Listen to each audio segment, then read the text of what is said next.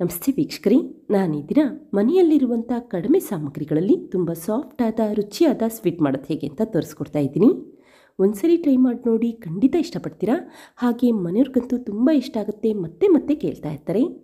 ಹಾಗೆ ನಿಮಗೆ ಈ ವಿಡಿಯೋ ಇಷ್ಟ ಆದರೆ ಪ್ಲೀಸ್ ವಿಡಿಯೋನ ಲೈಕ್ ಮಾಡಿ, ಮತ್ತು ಚಾನಲ್ಗೆ ಸಬ್ಸ್ಕ್ರೈಬ್ ಮಾಡಿ. ಈಗ ಸ್ವೀಟ್ ಮಾಡೋದು ಹೇಗೆ ಅಂತ ನೋಡ್ಕೊಳ್ಳೋಣ ಬನ್ನಿ. ಮೊದಲು ಒಂದು ಪ್ಯಾನ್ಗೆ ಅರ್ಧ ಕಪ್ಪಷ್ಟು ಸಣ್ಣ ರವೆ ಹಾಕ್ಕೊಳ್ತಾ ಇದ್ದೀನಿ. ಈ ರೀತಿ ಸಣ್ಣ ರವೆ ಇಲ್ಲ ಅಂತಂದರೆ ತೊಂದರೆ ಇಲ್ಲ. ನೀವು ದಪ್ಪ ರವೆನ ಮಿಕ್ಸಿಯಲ್ಲಿ ರುಬ್ಬಿ ನಂತರ ಕೂಡ ಉಪಯೋಗಿಸಬಹುದು.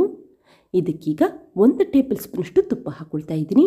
ಕೇವಲ ಒಂದು ಚಮಚ ತುಪ್ಪ ಉಪಯೋಗಿಸಿದ್ರೆ ಸಾಕು. ಈ ಸ್ವೀಟ್ ಮಾಡ್ಕೋಬಹುದು. ನಾನು ತುಪ್ಪನ ಫ್ರಿಜ್ಜಲ್ಲಿ ಇಟ್ಟಿದ್ದೆ ಅದಕ್ಕೋಸ್ಕರ ಅಷ್ಟೇ ಈ ರೀತಿ ಗಟ್ಟಿಯಾಗಿದೆ. ಈಗ ಊರಿನ ಮೀಡಿಯಂ ಫ್ಲೇಮ್ಗಿನ್ನ ಸ್ವಲ್ಪ ಕಟ್ ಮಾಡಿಕೊಂಡು ಈ ರೀತಿ ಹುರಿದಿಟ್ಕೊಳ್ಳಿ. ಆದಷ್ಟು ಕಂಟಿನ್ಯೂಸ್ ಆಗಿ ಮಿಕ್ಸ್ ಮಾಡ್ಕೊಳ್ತಾನೆ ಇರಿ. ಆವಾಗ ರವೆ ಮಿಶ್ರಣ ತಳ ಹಿಡಿಯೋದಿಲ್ಲ, ಮತ್ತು ಕಪ್ಪಾಗೋದಿಲ್ಲ ಅಂತಷ್ಟೇ. ಯಾವಾಗ ರವೆ ಈ ರೀತಿ ಸ್ವಲ್ಪ ಬಣ್ಣ ಬದಲಾಗುತ್ತೆ, ಆವಾಗ ಮುಕ್ಕಾಲು ಕಪ್ಪಷ್ಟು ಹಸಿ ತೆಂಗಿನಕಾಯಿ ತುರಿ ಹಾಕ್ಕೊಳ್ತಾ ಇದ್ದೀನಿ. ಈ ಸ್ವೀಟ್ ಮಾಡಲಿಕ್ಕೆ ಒಣ ಕೊಬ್ಬರಿ ಅಥವಾ ಡೆಸಿಕೇಟೆಡ್ ಕೊಕೊನಟ್ ಉಪಯೋಗಿಸೋ ಅವಶ್ಯಕತೆ ಇಲ್ಲ. ಮನೆಯಲ್ಲಿರುವಂಥ ಹಸಿ ತೆಂಗಿನಕಾಯಿ ತುರಿ ಉಪಯೋಗಿಸಿದ್ರೆ ಸಾಕು. ಈಗ ಮತ್ತೆ ಒಂದೆರಡು ನಿಮಿಷ ಹುರಿದಿಟ್ಕೊಳ್ಳಿ. ಈ ರೀತಿ ತೆಂಗಿನಕಾಯಿ ತುರಿಯಲ್ಲಿರುವಂಥ ನೀರಿನಂಶ ಸ್ವಲ್ಪ ಕಡಿಮೆ ಆಗಬೇಕು. ಮತ್ತು ರವೆ ಘಮ ಘಮ ಅನ್ನಲಿಕ್ಕೆ ಶುರುವಾಗಬೇಕು. ಅಲ್ಲಿವರೆಗೂ ಹುರಿದಿಟ್ಕೊಳ್ಳಿ. ನಂತರ ಒಂದು ಕಪ್ಪಷ್ಟು ತುಂಬ ಬಿಸಿ ಇರುವಂಥ ನೀರನ್ನು ಹಾಕ್ಕೊಳ್ತಾ ಇದ್ದೀನಿ. ತುಂಬ ಬಿಸಿ ಇರುವಂಥ ನೀರನ್ನು ಹಾಕಬೇಕಾದ್ರೆ ಆದಷ್ಟು ಊರಿನ ಲೋ ಫ್ಲೇಮಲ್ಲಿ ಇಟ್ಕೊಳ್ಳಿ. ಮತ್ತು ಈ ರೀತಿ ಕಂಟಿನ್ಯೂಸ್ ಆಗಿ ಮಿಕ್ಸ್ ಮಾಡ್ಕೊಳ್ತಾನೆ ಇರಿ. ಆವಾಗ ಮಿಶ್ರಣದಲ್ಲಿ ಗಂಟುಗಳಾಗೋದಿಲ್ಲ ಅಂತಷ್ಟೇ. ಒಂದು ನಿಮಿಷ ಮಿಕ್ಸ್ ಮಾಡಿಟ್ಕೊಂಡ್ರೆ ಸಾಕು. ರವೆ ಮಿಶ್ರಣ ಬೇಗ ಬೆಂದ್ಬಿಡುತ್ತೆ. ಮತ್ತು ಗಟ್ಟಿಯಾಗಲಿಕ್ಕೆ ಶುರುವಾಗುತ್ತೆ. ಆದಷ್ಟು ಈ ರೀತಿ ಕಂಟಿನ್ಯೂಸ್ ಆಗಿ ಮಿಕ್ಸ್ ಮಾಡ್ಕೊಳ್ತಾನೆ ಇರಿ. ಇದಕ್ಕೀಗ ಅರ್ಧ ಕಪ್ಗಿನ್ನ ಸ್ವಲ್ಪ ಕಡಿಮೆ ಪ್ರಮಾಣದಲ್ಲಿ ಸಕ್ಕರೆ ಹಾಕ್ಕೊಳ್ತಾ ಇದ್ದೀನಿ. ನನ್ನಲ್ಲಿ ಆರ್ಗ್ಯಾನಿಕ್ ಸಕ್ಕರೆ ಉಪಯೋಗಿಸಿರೋದ್ರಿಂದ ಈ ಬಣ್ಣ ಇದೆ. ನೀವು ಬಿಳಿ ಬಣ್ಣದ ಸಕ್ಕರೆ ಕೂಡ ಉಪಯೋಗಿಸಬಹುದು. ಹಾಗೆ ಈ ಸಮಯದಲ್ಲಿ ರುಚಿ ನೋಡಿ ನಿಮಗೆ ಸಿಹಿ ಎಷ್ಟು ಬೇಕೋ ಅಷ್ಟು ಪ್ರಮಾಣದಲ್ಲಿ ಸಕ್ಕರೆ ಉಪಯೋಗಿಸ್ಕೊಳ್ಳಿ. ಇಷ್ಟೇ ಉಪಯೋಗಿಸ್ಬೇಕು ಅಂತೇನಿಲ್ಲ. ಏನಾದರೂ ಸಪ್ಪೆ ಅನಿಸಿದ್ರೆ ಮತ್ತೆ ಸ್ವಲ್ಪ ಸಕ್ಕರೆ ಹಾಕೊಳ್ಳಿ ಅಷ್ಟೇ ಈಗ ಚೆನ್ನಾಗಿ ಮಿಕ್ಸ್ ಮಾಡ್ಕೊಳ್ತಾ ಇದ್ದೀನಿ. ನೋಡಿ, ಈ ರೀತಿ ಸಕ್ಕರೆ ಕರಗಬೇಕು, ರವೆ ಮಿಶ್ರಣದಲ್ಲಿ ಎಲ್ಲ ಕಡೆ ಬೆರಿಬೇಕು, ಅಲ್ಲಿವರೆಗೂ ಮಿಕ್ಸ್ ಮಾಡಿಟ್ಕೊಳ್ಳಿ. ಇದಕ್ಕೀಗ ಕಾಲು ಟೀ ಸ್ಪೂನಷ್ಟು ಏಲಕ್ಕಿ ಪುಡಿ ಹಾಕ್ಕೊಳ್ತಾ ಇದ್ದೀನಿ. ಏಲಕ್ಕಿ ಪುಡಿ ಉಪಯೋಗಿಸೋದ್ರಿಂದ ಸ್ವೀಟಲ್ಲಿ ಒಂದೊಳ್ಳೆ ಫ್ಲೇವರ್ ಇರುತ್ತೆ ಅಂತಷ್ಟೇ. ನಂತರ ಮತ್ತೆ ಒಂದ್ಸರಿ ಮಿಕ್ಸ್ ಮಾಡಿಟ್ಕೊಳ್ಳಿ. ಈ ರವೆ ಮಿಶ್ರಣ ತುಂಬ ಸಮಯ ಬೇಯಿಸೋ ಅವಶ್ಯಕತೆ ಇಲ್ಲ.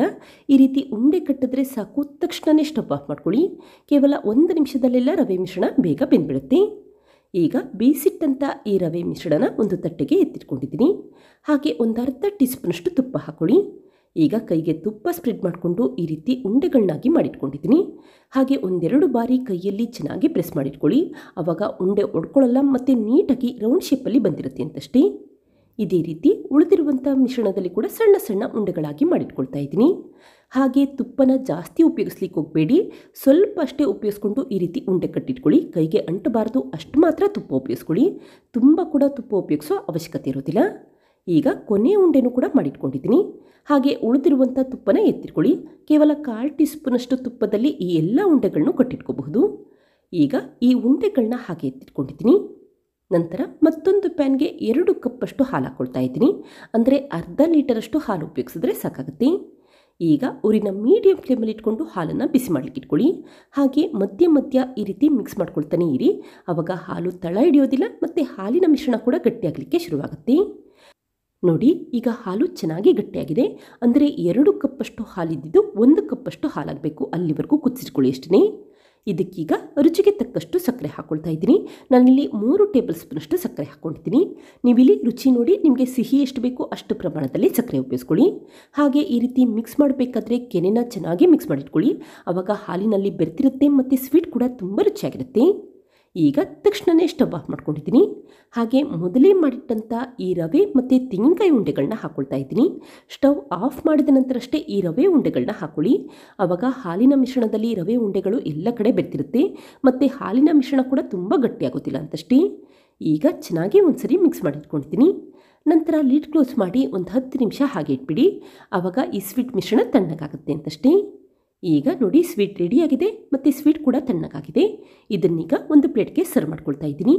ಒಂದ್ಸರಿ ಈ ರೀತಿ ಸ್ವೀಟ್ ಮಾಡಿ ನೋಡಿ ತುಂಬಾ ರುಚಿಯಾಗಿರುತ್ತೆ. ಅಂದರೆ ರಸಮಲಾಯಿ ಯಾವ ರೀತಿ ರುಚಿಯಾಗಿರುತ್ತೆ, ಆ ರೀತಿ ರುಚಿಯಾಗಿರುತ್ತೆ ಅಂತಷ್ಟೇ. ಕೊನೆಯದಾಗಿ ಸ್ವಲ್ಪ ಕಟ್ ಮಾಡಿರುವಂಥ ಪಿಸ್ತಾಯಿಂದ ಡೆಕೋರೇಟ್ ಮಾಡ್ಕೊಳ್ತಾ ಇದ್ದೀನಿ. ಪಿಸ್ತಾ ಇಲ್ಲಿ ಆಪ್ಷನಲ್ ಸ್ವೀಟ್ ನೋಡಲಿಕ್ಕೆ ಚೆನ್ನಾಗಿ ಕಾಣುತ್ತೆ ಅಂತಷ್ಟೇ ಉಪಯೋಗಿಸ್ಕೊಂಡಿದ್ದೀನಿ.